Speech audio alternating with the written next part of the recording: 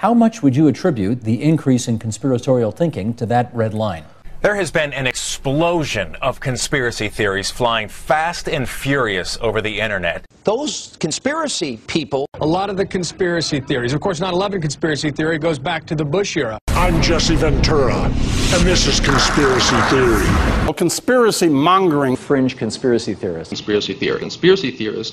The people who foment conspiracy theories, crazy conspiracy theories, full blown American conspiracy theories. Conspiracy theories are a great American pastime. And not all of them are on the right, there's plenty on the left as well. Never told a soul about it. In fact, they engaged in a vast conspiracy. You get accused of being a conspiracy theorist. Speculation, conspiracy theories.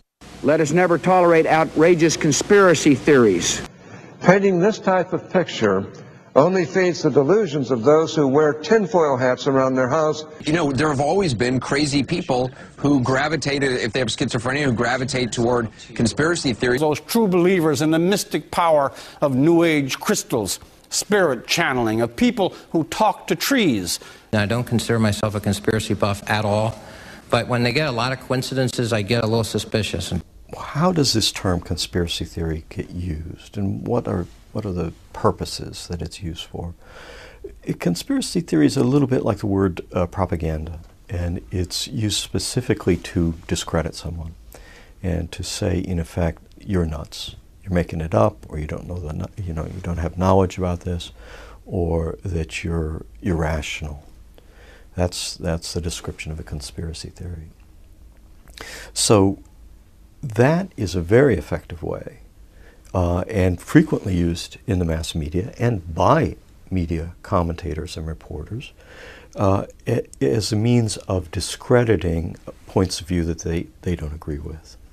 Conspiracy theory is a term that's used whenever anybody ascribes conscious intent to people with power.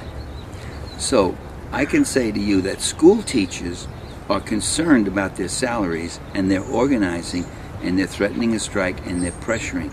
I can say to you that farmers are doing this and looking for subsidies and, and, and facing certain policies. But the minute I say to you that the very people at the top, the plutocracy, the very rich and powerful, the ones who own most of America, that they are consciously pursuing power and wealth, someone will come along and say, what do you have, a conspiracy theory? Or they'll say, oh, you're cynical or you're paranoid. Their view is that stuff just happens, things just happen, unintended consequences, or our leaders are stupid and they're jerks, or they're confused and they don't know any better. And of course, the critic knows much better than everybody else. People who operate in this world operate with intent. Uh, there's no such thing as imperialism without imperialists. There's no such thing as capitalism without capitalists. There's no such thing as rulers who are somnambulists who walk around in their sleep. You watch out for your interests. You watch out and you make calculations. What makes you think that David Rockefeller doesn't? What makes you think that the, the people at the top don't do it? And what makes you think they don't collude and organize? Or what do you think you have a group of people who sit around in a room and they plan this. And I always say, oh no, God, they don't sit around in a room. They meet on carousels and they go up and down merry-go-rounds, or they meet skydiving and they hold hands and they argue. Of course, they sit in rooms. Where the hell else are they going to meet?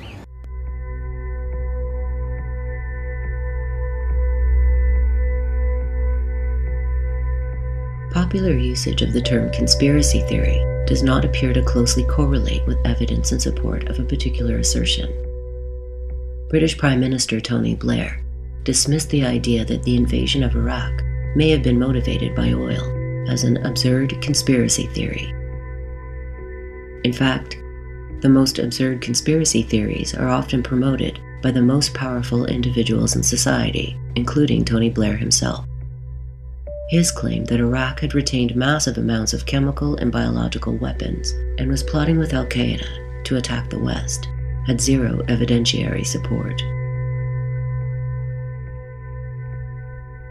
The Third Reich promoted the conspiracy theory that Jews were responsible for most of the world's ills.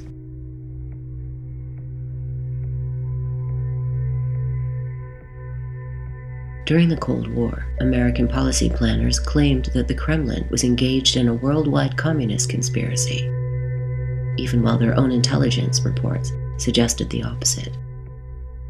More recently, Muslims have become the primary scapegoat.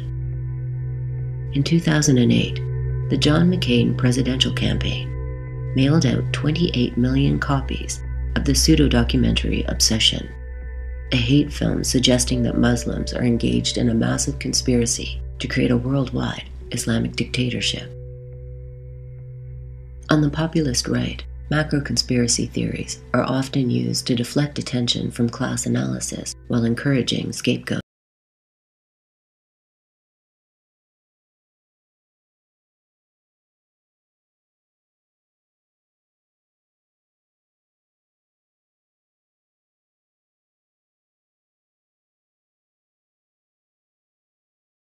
Now. What's a conspiracy?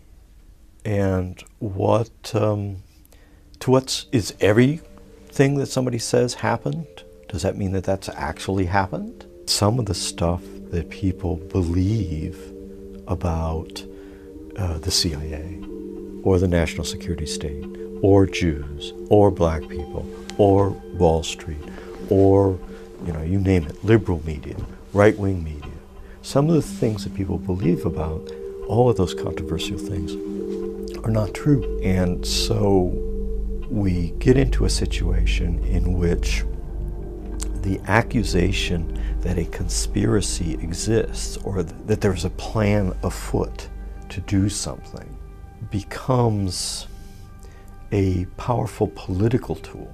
One of the most powerful tools of propaganda is rumors, rumor mongering. And uh, it, one can see it even in elections, you can see it in international affairs and so forth. Rumors appeal to people's primal fears, fears about race, fears about gender, fears about their own relationship between themselves and, and authority, those sorts of things. And there are plenty of people out there who will exploit those fears.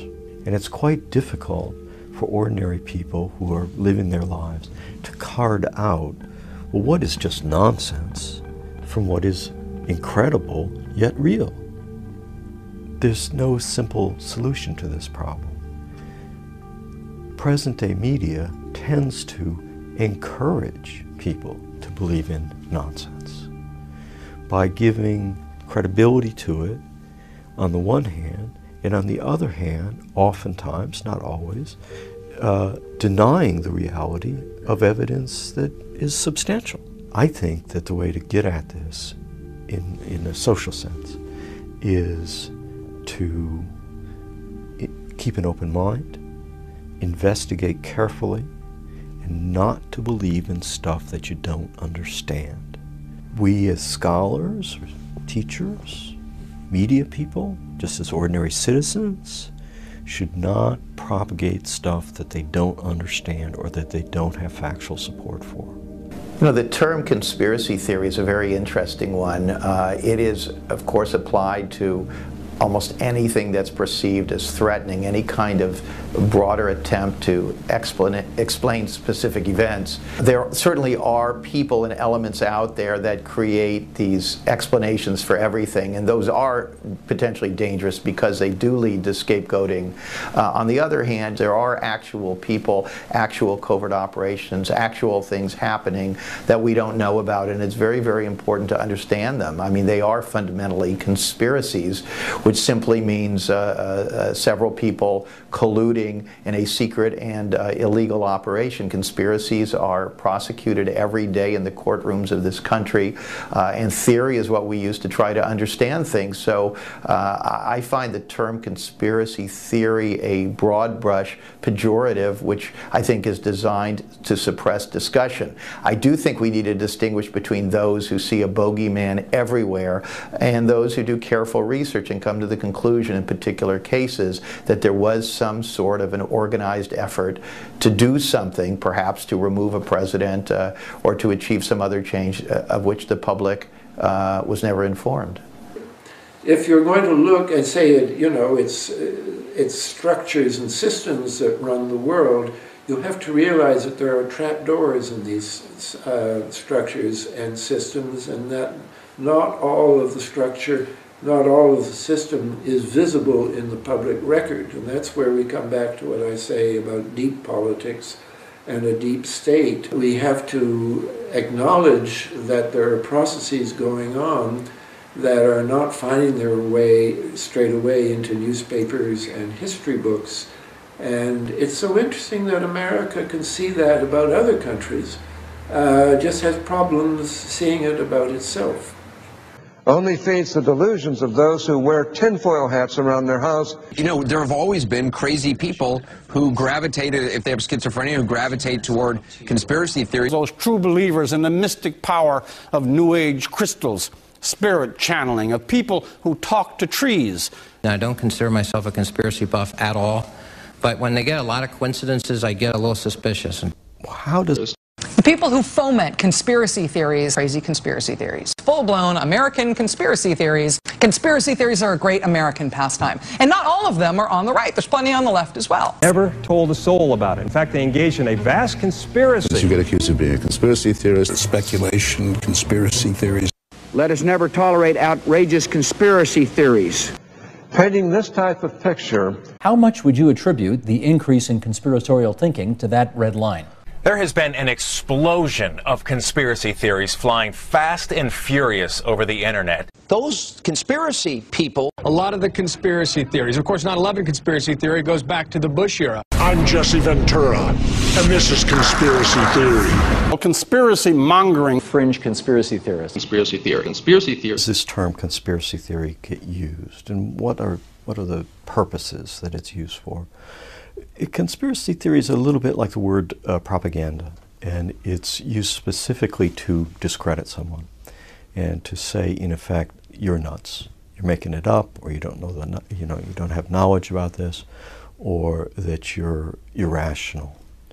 That's, that's the description of a conspiracy theory. So that is a very effective way uh, and frequently used in the mass media and by media commentators and reporters uh, as a means of discrediting points of view that they, they don't agree with. Conspiracy theory is a term that's used whenever